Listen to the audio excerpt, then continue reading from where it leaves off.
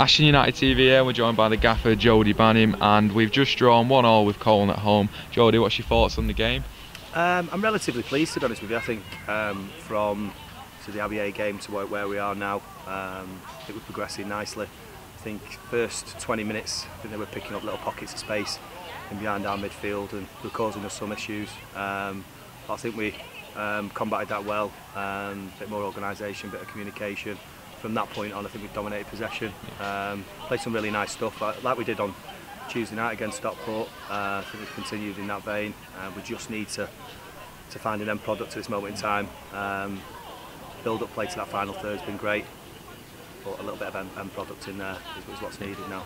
Uh, another 90 minutes in the bank for all the players. Are you happy with the squad, how they're gelling and yeah, fitness yeah. levels? I, listen, the only concern I've got right now is, is goals, uh, where we're going to get goals from.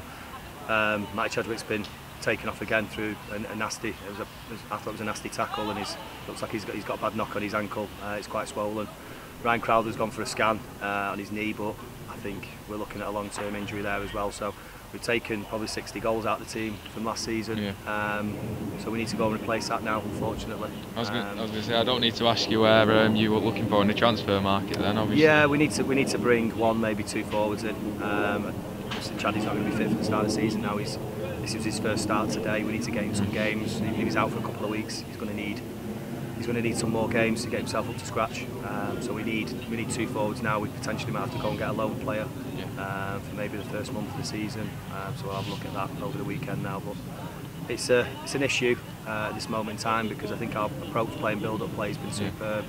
Nicky Platt did his first start today. Did really well when he come on. Um, but Liam Thompson did well as well. Lamry's done well. Um, some really good performances. I'm really quite pleased um, with today. Listen, it's not about results. Yeah. It's about performance, isn't it?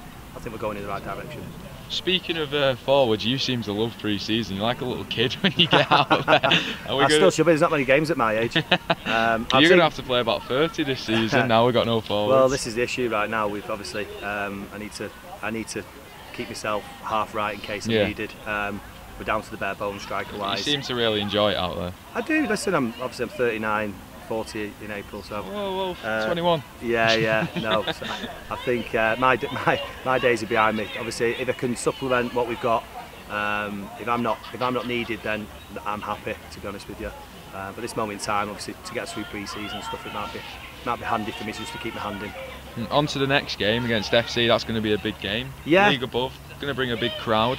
What are your thoughts for that game? Listen, it, we we obviously we picked we picked specific games on um, purposely, obviously to give us a test throughout pre-season and build our build ourselves up for the start of the season. And this is another another good test for us.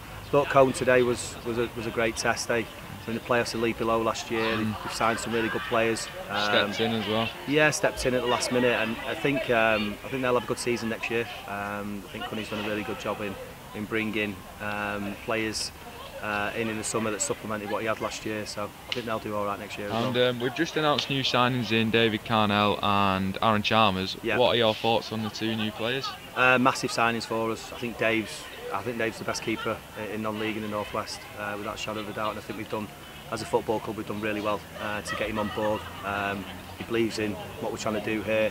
Um, he came in training, um, did one training session with us and pulled me afterwards and said he really enjoyed it. He just felt right. Um, so that's a great signing. Um, the way we want to play out from the back, Aaron Chalmers is, is perfect um, for our formation at this moment in time. Technically, he's one of the he's one of the best footballers I've seen at this level, with, without shadow of a doubt. Um, his reading of the game's excellent. Um, he's good in the air for, for the size of him as well. Uh, and his distribution is, is great from the back. Him and Tom Eckersley looked a real Yeah. plus for us.